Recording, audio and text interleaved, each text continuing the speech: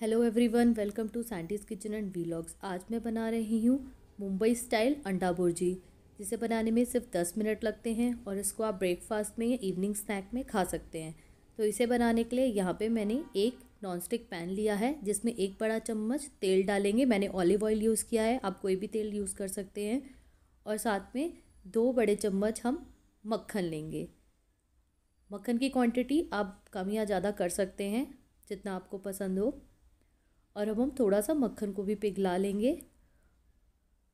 और यहाँ पे मैंने तीन बड़े प्याज को छोटा छोटा काट के लिया है। तो प्याज हम इसमें डाल लेंगे और प्याज को बटर में अच्छे से मिक्स कर लेंगे।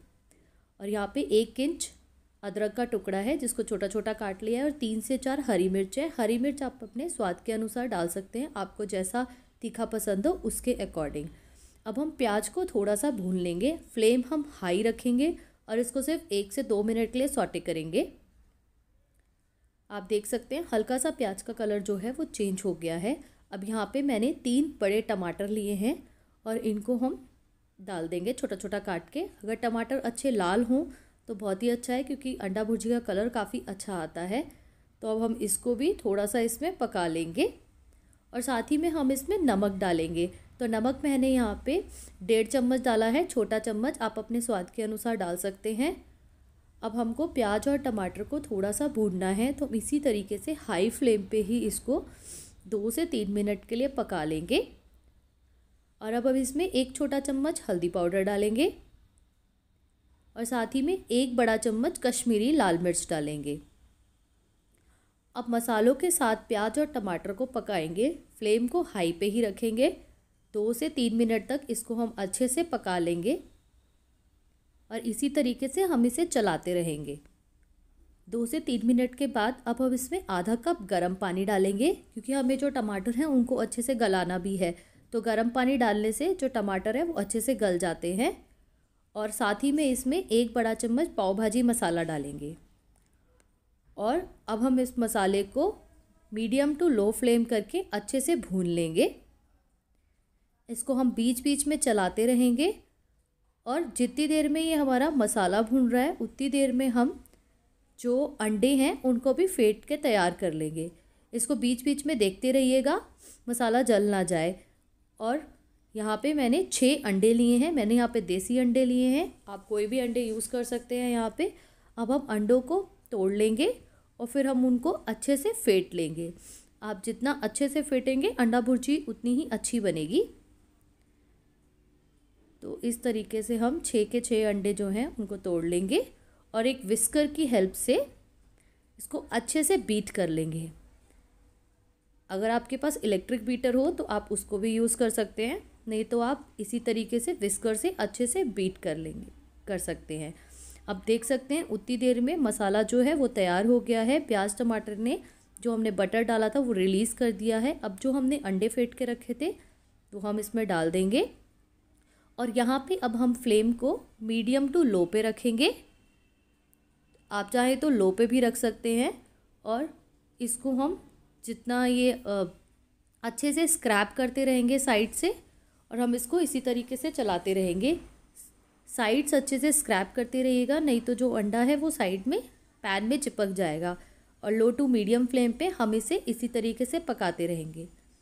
आप अंडा भुर्जी को आ, किसी के साथ भी सर्व कर सकते हैं लाइक ब्रेड के साथ ब्रेड सेक के या फिर पाव के साथ लाइक मुंबई में तो इसको ज़्यादातर पाव के साथ ही सर्व किया जाता है। और आप पराठे के साथ भी खा सकते हैं या दिल्ली में तो ज़्यादातर पराठे के साथ ही खाई जाती है। लाइक वीकेंड पे सुबह आप पराठे बना के साथ में अंडा भुर्जी बना सकते हैं बहुत जल्दी बन जाती है ये बस पाँच सात दस मिनट लगते हैं इसको बनाने में। तो इसी तरीके से हम इसके साइड्स को स्क्रैप करते रहेंगे। और ये आप देख सकते हैं, अंडा भुर्जी जो है वो रेडी है बट अभी ये थोड़ा सा आप देख सकते हैं खिली खिली नहीं है तो उसके लिए हम मीडियम टू लो फ्लेम पे ही इसे इसी तरीके से पकाते रहेंगे और चलाते रहेंगे। और यहाँ पे मैंने इसमें फ्रेशली कटा हुआ हरा धनिया डाल दिया है। और आप इसमें इसे चाहे तो ऐसे भी सर्व कर सकते हैं, चाहे तो इसे थोड़ी देर और पका सकते हैं, जिससे इसका मॉइस्चर जो है थोड़ा और कम हो जाएगा। तो आपको जिस तरीके की पसंद हो आप उस तरीके की अंडा भुर्जी सर्व कर सकते हैं। मैं इसे थोड़ी देर, एक दो मिनट के लिए और पकाने वाली हूँ, जिससे कि इसका थोड़ा मॉइस्चर और कम हो जाए और ये और बटर को रिलीज़ कर दे और थोड़ी खिली खिली बने। अभी आप देख सकते हैं कि थोड़ा ये उतनी खिली खिली नहीं लग रही है तो एक दो मिनट में ये अच्छे से खिल जाएगी और इसका टेक्सचर देख सकते हैं आप कितना अच्छा आया है। अब यहाँ पे हम फ्लेम को बंद करेंगे और हम ब्रेड तैयार करेंगे। तो यहाँ पे मैंने एक पैन के ऊपर थोड़ा सा बटर लिया है और एक स्लाइस ब्रेड को चार पीसेस में कट कर लिया है और इसको हम इस तरीके से सेक लेंगे। आप चाहे तो पाव भी सेक सकते हैं बट मैं ब्रेड के साथ सर्व कर रही हूँ। तो इस तरीके से हम ब्रेड को दोनों तरफ़ से लो टू मीडियम फ्लेम पे अच्छे से सेक लेंगे।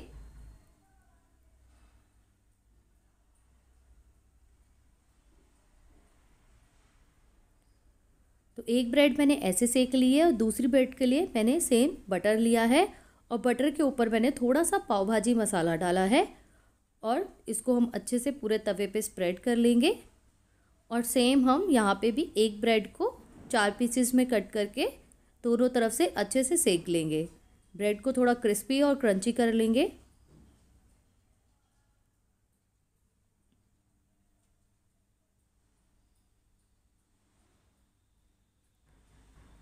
तो हमारी ब्रेड भी तैयार है और अंडा भुर्जी भी तैयार है। अब हम इसकी प्लेटिंग करेंगे तो एक पैन में हम पहले अंडा भुर्जी निकाल लेंगे और साथ ही में हम ब्रेड भी सर्व करेंगे।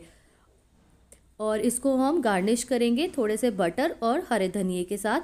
अगर आपको आज का वीडियो अच्छा लगा हो तो लाइक कीजिएगा, ना अच्छा लगा हो तो डिसलाइक भी कर सकते हैं। अगर आपने अभी तक चैनल को सब्सक्राइब नहीं किया है तो प्लीज़ सब्सक्राइब इट। और आगे ऐसे ही मिलेंगे दूसरी वीडियो में। तब तक के लिए बाय टेक केयर जल्दी मिलते हैं थैंक्स फॉर वॉचिंग